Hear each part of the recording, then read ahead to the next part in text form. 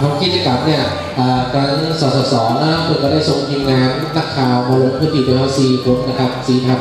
นะวันนี้เขาต้องทำกิจกรรมพวกข่าววันนี้จะถูกสื่อไปต่างๆเขามีกล้วยตาพลังงานแสงอาทิตย์บริการท่านแล้วก็กับเพื่อนกับพบกาแฟนะครับก็เราอยู่ได้นำด้วยท่านตัวนะครับเนาะศูนย์ถ่ายทอดเทคโนโลยีประจำตำบลนะครับเนาะของเกษตรนะครับศูนย์ถ่ายทอดเทคโนโลยีประจำตำบลเนี่ยของเขาพี่อยู่ที่อบตอย่างเขาก็เลยตั้งศูนย์ขึ้นมา โดยเทศบาลสนับสนุนและก็ขอความร่วมมือของข้าราชการ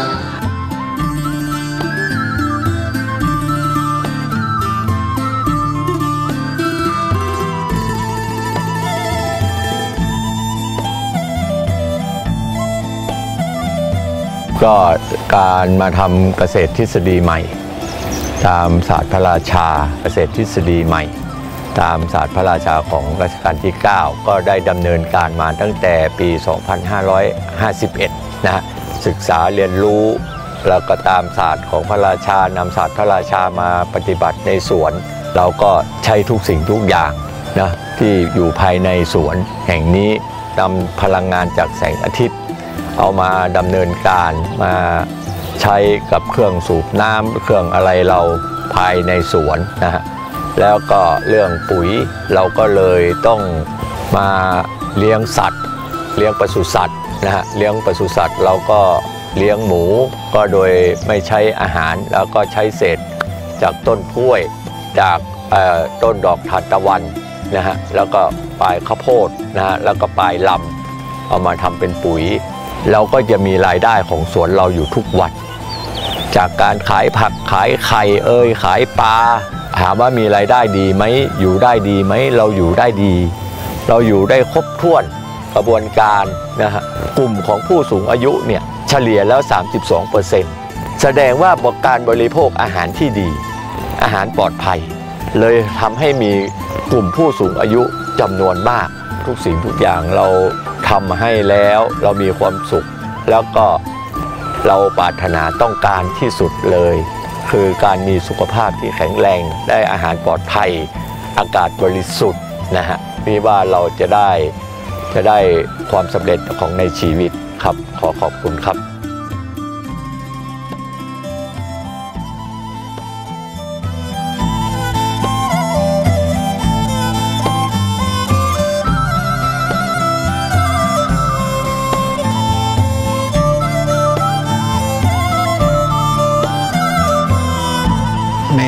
การรวมกลุ่มของ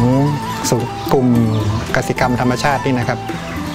ในเขตเทศบาลสูงเม่นเนี่ยมันมีพื้นที่จำกัดนะครับไม่มีพื้นที่สาธารณะในในพื้นที่เทศบาลนะครับ การรวมกลุ่มกันเนี่ยทางเทศบาลก็ได้ขออนุญาตจากธนรักษ์นะครับขอใช้พื้นที่โรงเรียนล้างนะครับโรงเรียนสีสว่าง ซึ่งเป็นโรงเรียนล้างเก่าได้เล็งเห็นว่าพื้นที่ตรงนี้เป็นพื้นที่สาธารณะนะครับประชาชนสามารถ ใช้ประโยชน์ร่วมกันได้นะครับ ก็เลยได้ไปขอใช้ใช้พื้นที่ในการรวมกลุ่มของกลุ่มเกษตรกร เพาะปลูก เพื่อที่จะใช้ในครอบใช้กินเองในครอบครัวนะครับ แล้วก็ที่เหลือหลังจากนั้นก็ก็ได้จำหน่ายนะครับ ทางเทศบาลก็สนับสนุนส่วนหนึ่งนะครับ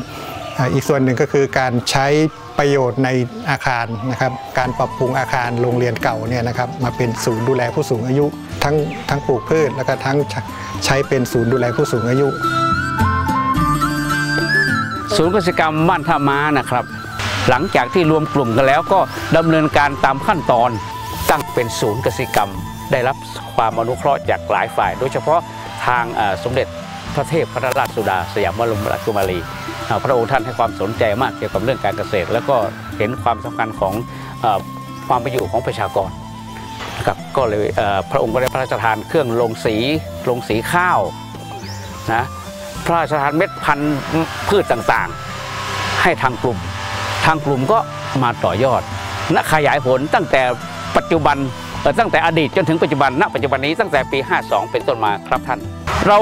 เราให้ชาวบ้านที่ที่เขามาทำนะฮะเอาไปเอาไปบริโภคก่อน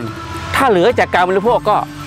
จำหน่าย ผู้ที่สนใจเขาจะมาดูแลเองครับ เราให้ดินเขาให้ปุ๋ยเขาให้น้ำให้ไฟเขาโดยที่เทศบาลเป็นผู้ที่สนับสนุนด้านงบประมาณครับผม เราไม่ใช่เฉพาะตอนที่ในเขตเทศบาลเรา ที่อื่นมาก็ได้ สามารถมาเรียนรู้สามารถมาเรียนรู้ได้ครับ มีวิทยากรสอนมีฮะมีครับผม